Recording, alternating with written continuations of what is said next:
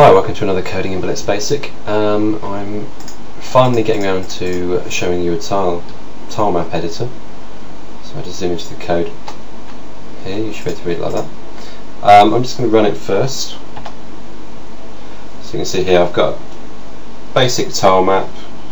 Uh, I could scroll around just with cursor keys, place tiles in, change the tile, put more in.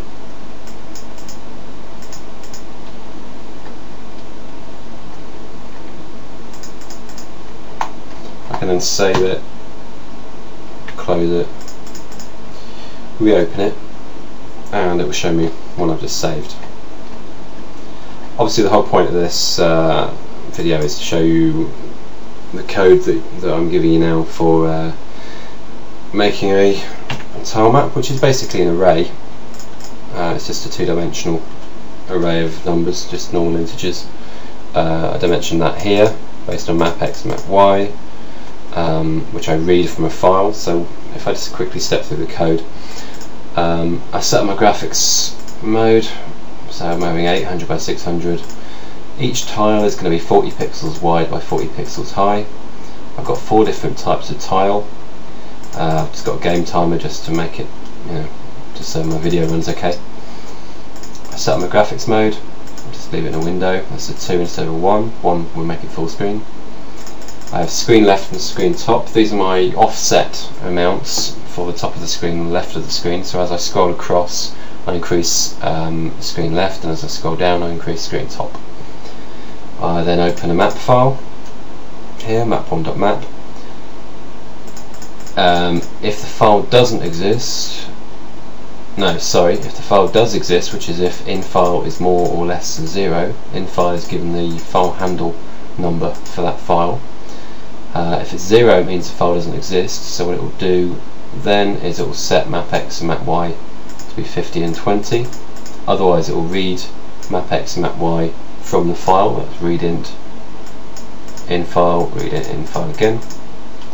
I then dimension the map based on map x and map y, whether they were read from the file whether they were made up. And then again, if the file exists, we'll read the tile layer. So for x, for y equals 0 to map y minus 1, because remember arrays are 0 up until the length of the array minus 1, not the full length.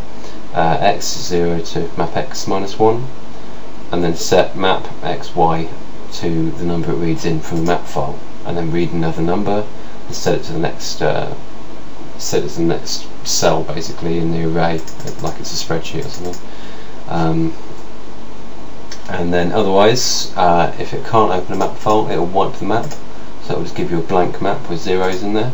The reason I initialize zeros to the array is because um, the array would have what's called null values in it if I don't initialize 0 to each each um, cell in the array. So initialize each one to 0, I then close the file on the way in. I then open my tiles, so I load, use load anim image in order to load more than one frame for this image. I've got tileset.bitmap, so if I go in here, open tileset.bitmap, you can see I've just got a strip of images here it's just going to load the first four of them. I'm then going to set and initially select a tile, which will be tile 2, so that's just mud, I think. And set buffer to back buffer, because I'm going to be doing, um, I want it to run smoothly when I run it. So while not key hit 1, so while I don't press escape, clear the screen, and this is into the main loop now. Go through the array, one, one tile at a time, one cell at a time, read in the tile number. If the tile number is more than one, then draw draw the tile on the screen, allowing for screen left and screen right. The way you do this um, is I take the image of the tiles, and then the, to get the x coordinate of it, I'm taking x, which is its position in the array, so the array might go from 0 to 29 across, say, I think in this case it's actually 50 wide. Yeah, 50 wide, so it will go from 0 to 49. So I'm drawing the image at, say it's at tile position 2 or something, it will be 2 times t size, t size is 40, so that's 80 is the actual pixel it will draw it at, minus the left hand side of the screen. Remember if we scroll across the screen, screen left goes up, so you need to shift all the tiles across. So that's, that's why mine's screen left. And then for Y, it's basically the same thing. Y times tile size minus screen top. And then the frame number is just tile num. And tile num, as we've seen, is what it reads out of the actual array. Uh, I do a quick check here saying if the x coordinate of it is more than the tile size, so more than 40, and it's less than the graphics width, and also y. So basically, if it's on the screen, draw it that's basically an efficiency thing because you could have a map that's say 10 screens across by 10 screens down. If you're drawing all the tiles on that then most of them aren't going to be seen at all. You only, you only need to draw 10% of them. So you save a lot of processor time and make the game, game run a lot faster if you only draw the tiles on the actual screen um, that the player's going to see because there's no point drawing anything else. Okay I've got my if key down commands. These are just the cursor keys. So you know if the key's down if um, if the down key is down and the screen top is less than you know, the map height minus the graphics height then you can move down. So it's just bounding boxes really for the map here so you don't scroll off the end or off the bottom of the map because then you might try and place a tile um, in a part of the map that doesn't exist which will give you an error and crash the program um, I then set a basic colour because I want to draw a rectangle for where the actual tile is going to be placed based on where the mouse pointer is. It's a very long equation here, I'm not going to try and explain it all now.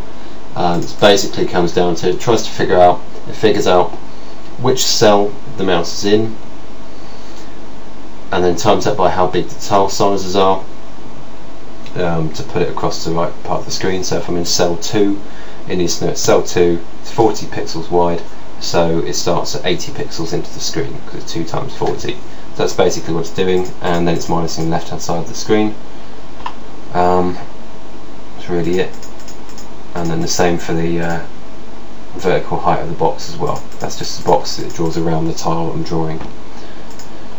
Um, similar sort of maths for drawing the tile, the currently selected tile. Cell tile is what's selected uh, you'll see i am using mouse Z here. Mouse Z is actually the wheel on the middle of the mouse. So I'm just saying if the mouse, if the selected number is less than mouse Z, then move it up one. If it's more, then move it down one. All that means is I can scroll the middle mouse uh, wheel um, to change tiles, change what's selected, uh, what the selected tiles are. So other thing I can do is uh, I can use mouse hit 2 to go through the tiles as well, just in case you haven't got a scroll wheel on your mouse. Um, then you can just use right click to scroll through instead. Uh, mouse 1 simply sets the map, the array tile that the mouse is on to the selected tile on there, just draws it onto the map. That's it. Uh, if you press C, it clears the map. So just go through the array, clears it. If I press S, it will save the map. So it'll open a file, an output file, map1.map, writes out map X and map Y. If you remember, they're the first things we read in. I then go through the array, writing out what the tiles are on each cell in the array, and then close the file.